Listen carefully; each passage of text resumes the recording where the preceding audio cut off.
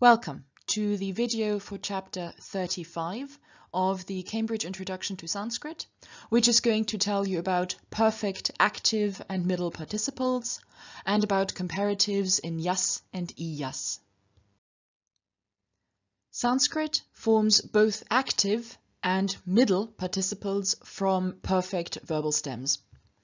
We're going to start by looking at the perfect middle participle because that is formally simpler than its active counterpart. Now, the perfect middle participle consists of three elements, the weak perfect stem, the suffix ana, and case endings. So, for example, on the basis of yud, to fight, we get the weak perfect stem yuyud, and on the basis of that, we get our participle yuyudhana, meaning having fought, and that then just declines as yuyudhanach in the masculine, yuyudhana in the feminine, yuyudhanam in the neuter. The perfect active participle also consists of three elements, namely the stem, a suffix, and a case ending. And two of these three elements are completely straightforward and used throughout the paradigm, namely the weak perfect stem and regular consonant stem endings as they had been introduced in chapter 15. However, the suffix between these two is a little more complicated.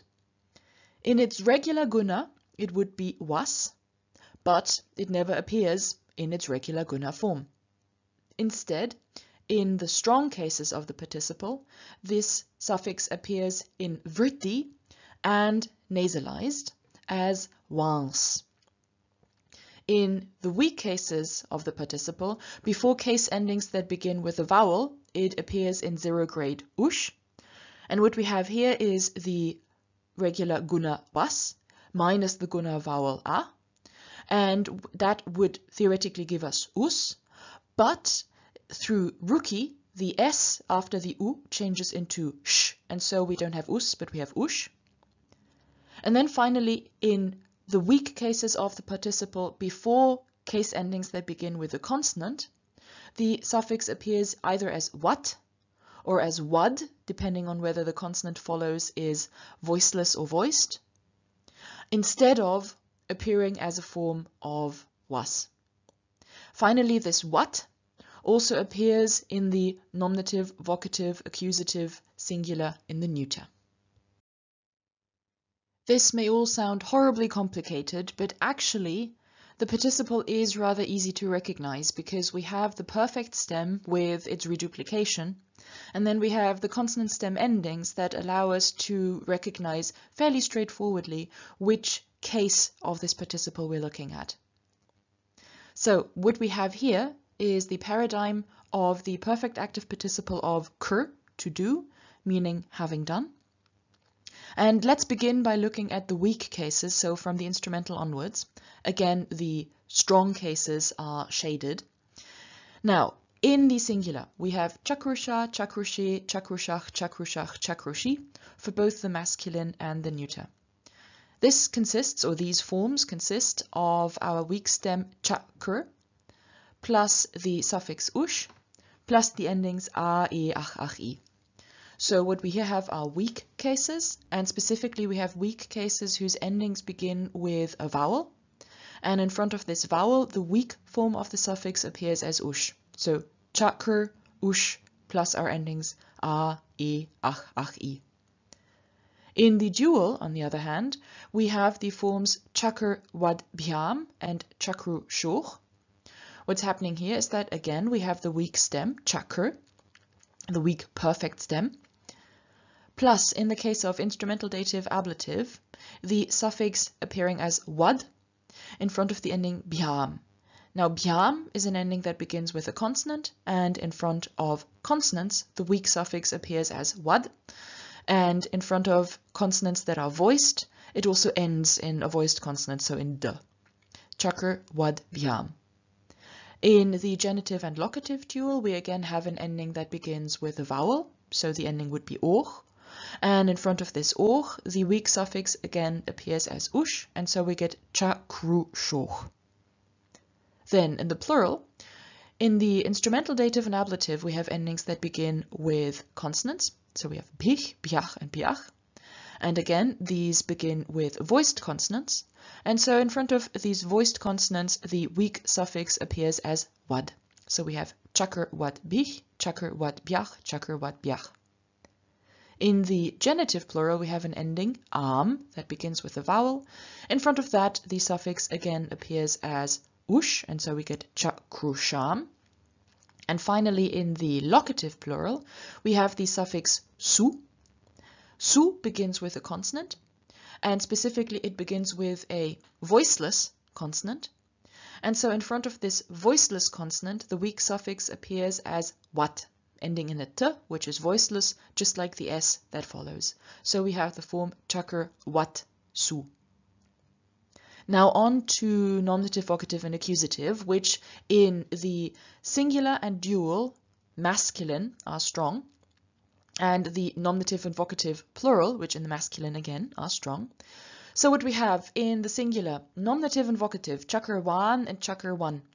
As so often, the nominative and vocative masculine singular of a consonant stem have endings that are difficult to predict and also perhaps difficult to recognize. So these two forms should best be simply memorized. Chakar one and chakar one.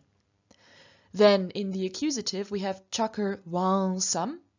So what happens here is that we've got the weak perfect stem, chakar, then the suffix in vriddhi and nasalized, once, and then our normal accusative singular masculine consonant stem ending um, am, chakar wang sam. In the masculine nominative vocative accusative dual, we have chakar wang sao, so again, weak perfect stem, chakar, plus our strong suffix, wangs, and the ending ao that we know well. And in the masculine nominative vocative plural, we have chakar wang sach. Again, weak perfect stem, chakar, plus the strong suffix wangs, plus the ending that we also already know, ach, giving us chakar wang sach. In the accusative plural in the masculine, on the other hand, we have a weak case. And so here we have our weak stem, chakar, our weak pre-vocalic suffix, ush, and the accusative plural ending, ach, so chakrushach. Finally, for the neuter, we have in the nominative vocative accusative singular the ending wat, so we have the form chakar wat. In the dual, we have the ending e to form the nominative, vocative, and accusative neuter. And in front of this e, which begins with a vowel, the weak suffix again appears as ush, so we get chakrushi.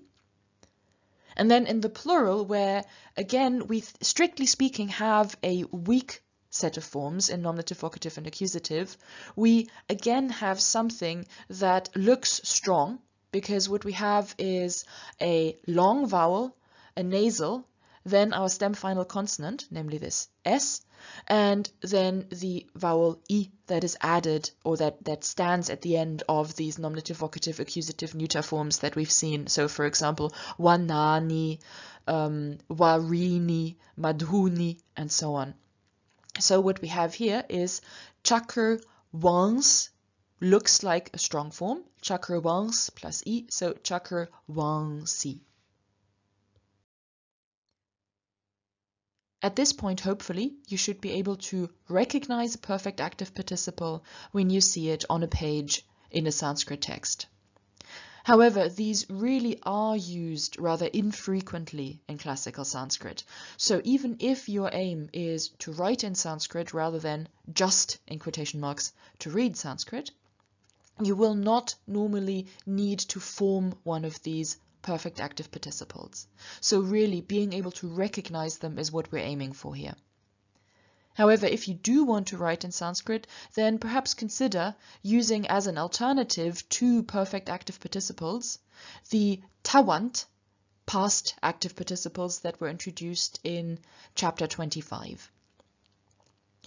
That said, we need to look at one perfect active participle in just a little more detail because it's perhaps the most frequently used perfect active participle and also it is slightly formally irregular. And that's the perfect active participle of vid, meaning to see or to know. Wid lacks reduplication, both in its finite perfect forms and in its participles. So the first singular perfect indicative active is weda, meaning I know. And the perfect active participle has the stem widwas, and it declines just like any other perfect active participle. So nominative singular masculine widwan, vocative widwan, accusative widwansam, and so on be able to recognize this form, widwas, meaning knowing or skilled. Finally, the feminine of these perfect active participles, we haven't looked at that at all yet, is formed by adding e to the weak participle stem. So we have again chakr, our weak perfect stem, then ush, which is the form that the weak suffix takes in front of a vowel, um, and then we have E and just generally long E stem, long I stem endings. So we have chakrushi for the nominative singular, chakrushi for the vocative, chakrushim for the accusative, and so on. A form that declines fairly similarly to the perfect active participle in was is comparatives in yas or ias. We already encountered the regular comparative suffix, which was tara. This was introduced in chapter 9, and if you remember, it's added fairly straightforwardly onto the adjective stem. So, for example, from an adjective like priya, meaning dear, I might get a comparative form priyatara, meaning dearer.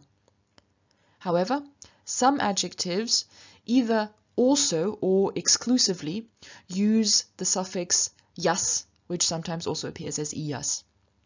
Now before this yas or ias, the stem of the adjective often takes an unexpected form and generally speaking, any stem forming suffix, so anything at the end of the adjective stem, such as an, in, u, thematic, a, and various others, often is dropped. The remainder of the adjective often appears in a higher vowel grade than the basic adjective, or the vowel of what remains may be lengthened. So for example, on the basis of priya, meaning dear, we get the comparative preyas, meaning dearer, and that then goes with the superlative preshta, dearest. From guru, meaning heavy or respectable, we get the comparative gariyas, then going with the um, superlative shreshta, meaning best, that we've already encountered in some readings, we get the comparative shreyas, meaning better or superior. Now, you may find it a little difficult to recognize gariyas on the basis of guru. This is the same for most people, and therefore you will basically find all of these comparatives, priyas, gariyas, shreyas, and so on, listed in any vocab list or dictionary that you might be using. Now, to help us recognize the various cases of these comparatives in yas and ias, let's look at their forms in a little more detail. The suffix undergoes stem gradation, so in the strong cases it appears as yans or iyans, and in the weak cases it appears as yas or iyas, and the suffix has the same sandhi as other S stem forms would, so us remains as us before vowels, it appears as o before voiced consonants, and it, it appears as visarga before unvoiced consonants, i.e. before su, which is the only ending that begins with an unvoiced consonant, i.e. the locative plural. The feminine of, or the feminines of comparatives in ias add e to the weak stem and are then declined just like regular long I stems, so just like nadi, and so, for example, from Shreyas, we would then have the feminine Shreyasi.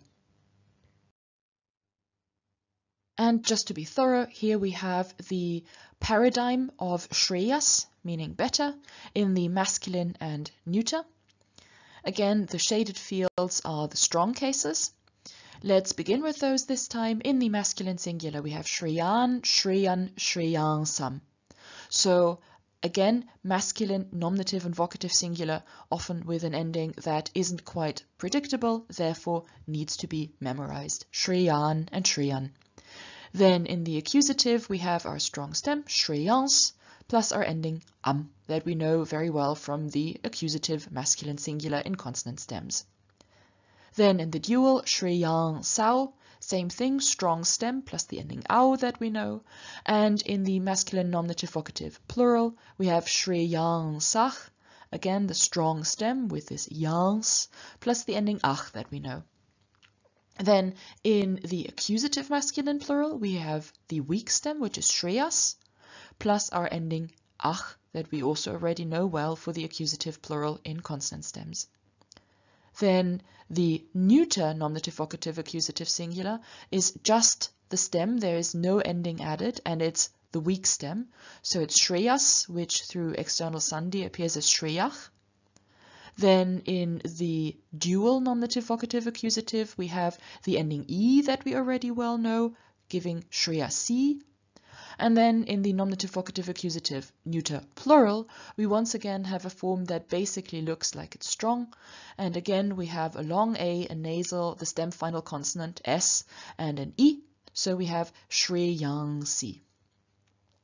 Then the weak cases are, as always, the same for both masculine and neuter. So in the singular, we have the weak stem Shreyas, plus our well-known endings A, E, Ach, Ach, I. So Shriyasa, Shriyase, Shriyasach, Shriyasach, Shriyasi.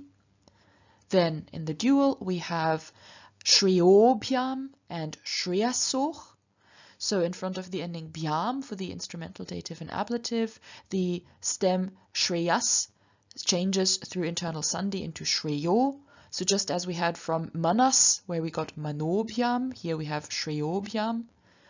And then in the genitive and locative, we again have an ending that begins with a vowel, and in front of that, Shreyas appears just as it is, Shreyasoch. Then in the plural, instrumental dative and ablative all have endings that begin with consonants, and specifically with voiced consonants, and in front of these, once again, the weak stem appears as Shreyo, giving us Shreyobich, Shreyobiach, Shreyobiach. Genitive plural has an ending that begins with a vowel, namely am, and in front of that Shreyas appears just as it is, Shreyasam. And then finally in the locative plural in front of the ending su, which begins with a voiceless consonant, Shreyas appears as Shreyach, giving us Shreyach su. That was it for this chapter. We hope that you found this video helpful and if you have any comments or suggestions, we would love to hear from you. Please do write to us at ruppel at cambridge-sanskrit.org. And now, for your own work on this material, good luck and have fun!